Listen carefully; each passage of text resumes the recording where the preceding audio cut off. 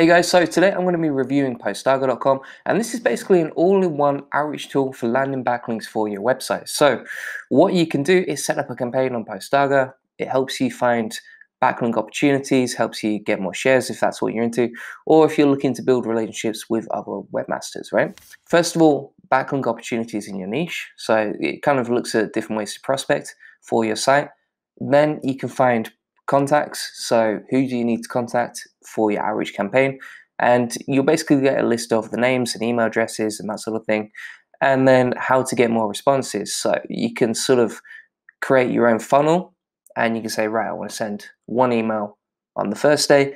Then I want to wait for maybe five days, send another email, and you can automate your whole email funnel doing that. So, normally, when it comes to link building outreach, you need lots of different tools to do this. So you need like hunter.io to find the email addresses, and then Ahrefs to do the prospecting, and then lemlist.com to send the outreach emails, that sort of thing. So whereas with Postaga, this is all in one, so you can do it all from one place. And that's exactly what I'm going to show you today.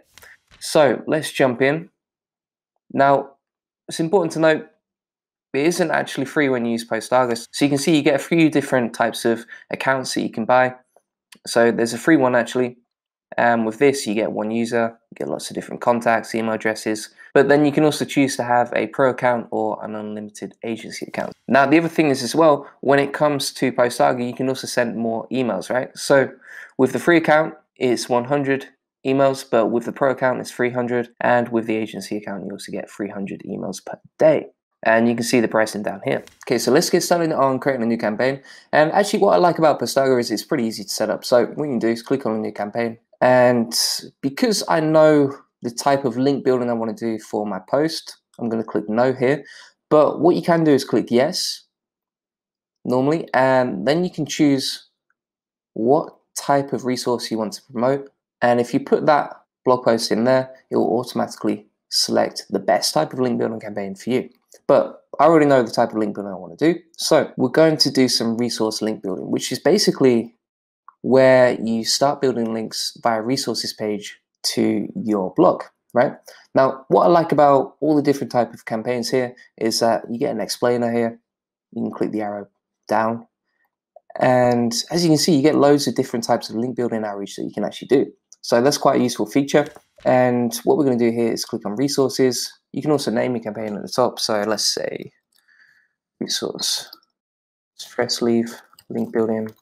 Because the actual post that I'm going to promote is about stress leave, as you can see here. So then we can type in the URL like this, paste it in, click analyze post. And what that will do is break down the details of the post. So you can see the post title, post site, so it's at relaxlikeaboss.com.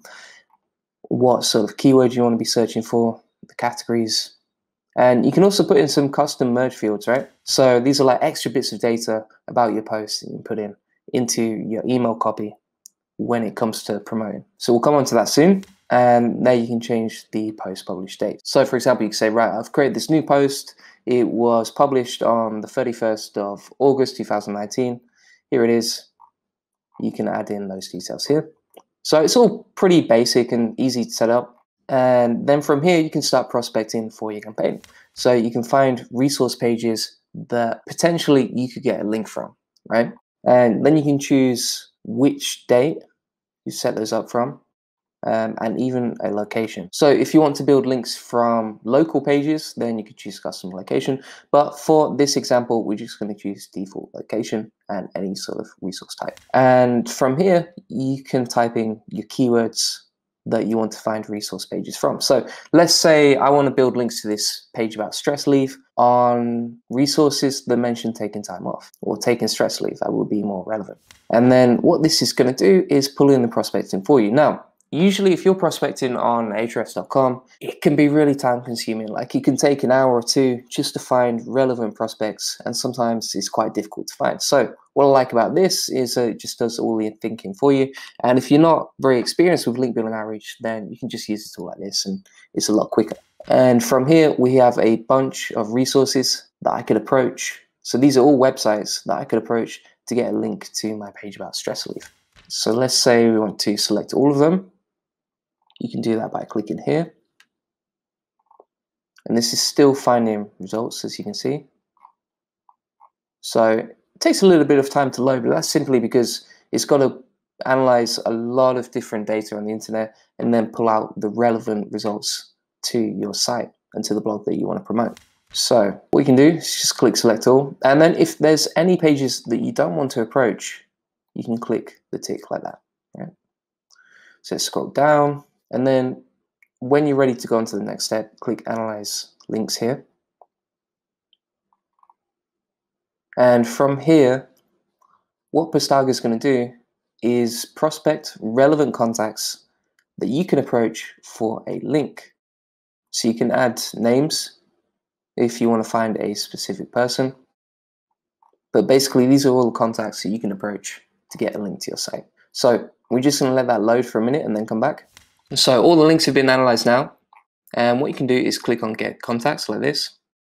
And this will find all the people that you can contact for a link to your site. So basically Postaga has analyzed all the links that are relevant and now it's pulling the contacts from each of those sites.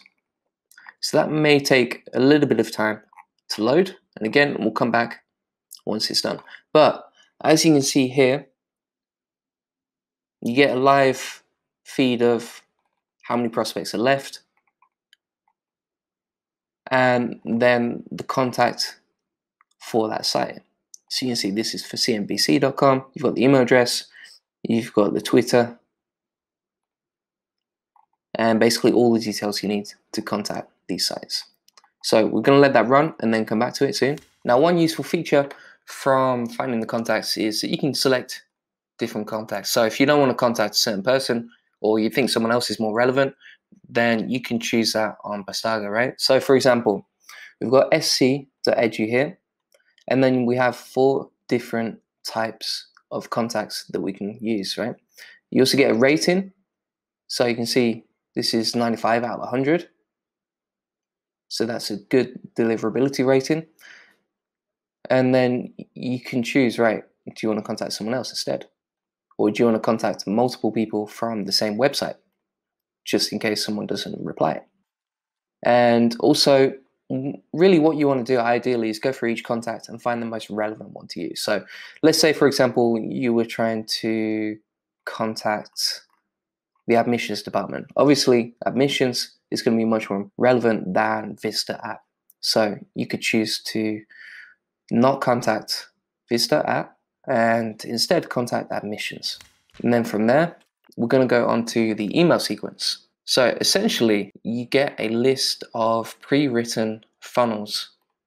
Okay, so you can see here, you can send the email for your resources page, wait three days, and then send another email. And in section six, you get a breakdown of what the copy will look like for that particular website, right? So here you get a breakdown, click on next. And what you can do is add like custom merge data. You can preview the merge data. And basically it just saves you a lot of time copywriting. So you can edit the subject line like this. Maybe you want to put some quote marks over the keyword. And then you can edit the text. Now what I like is that normally when you're writing an email, it can take like 30 minutes to write something decent, okay? But this is all pre-written for you and then you can just edit certain bits to make it more unique. So this is the outreach email that would be sent. Hey there, Julian from Relax Like a Boss here. Hope your week is going well. And then you can see that the details of the post have already been inserted. So you can see their website here, our website is here, the name of the post, super easy to set up, and then you can also include like some custom post information here too. But what we're going to do for this is just delete it quickly and leave it like that. Right. And then click Save Email Overwrite if you've made any changes, like this. You can send a test if you want. From here, let's scroll down and we've got the rules and scheduling. So you can basically choose when you want to send the campaign. You could launch it right now if you want, or you can schedule it for a certain date. You can choose whether you want to use testing mode or not. So, you know, if you're not confident with the software and you just want to test out and see what it's like, then you can choose testing mode like this. And then also you can choose, right, do you want to send on weekends or not? and thread messages. So do you want to keep all of your emails in the same thread or do you want to send them across different threads? However, what I'd say is that stick with the default thread messages simply because if you send loads of different emails from different threads, then it's going to get a bit messy and you could annoy the person that you're contacting. So it's better to keep it all in one email thread when the person receives it. And then you can also choose, right, do you want to stop the email campaign when someone replies or keep it going? And finally, we have schedule. So we've got 34 contacts. We've chosen when it's going to start, which is right now. And then we just click schedule like this. And once that's completed, our campaign will start sending. It's going to look something like this. So in the campaign section here, you can set up all your campaigns. You can see all the details of them.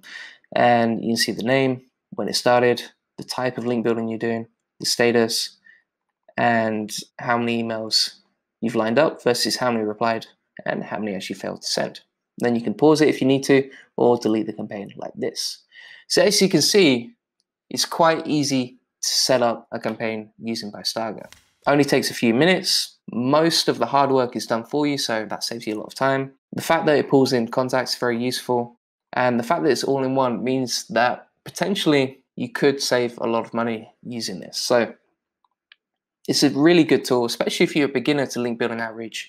What I would say if you've got like a massive agency, maybe Postaga isn't the best software for you simply because you know you need to send thousands of emails and running a campaign with only like 58 contacts might not be the best for you. However, what I'd say is that you know if you've got a small campaign running, if you're running your website, if you've got a small scale campaign, then Postaga, potentially it's going to save you a lot of time and money too because you don't need to pay for separate tools. You can just run one campaign from Postaga directly. So thanks for watching guys. If you have any questions about Postaga, let me know in the comment section below and I hope this review helped you.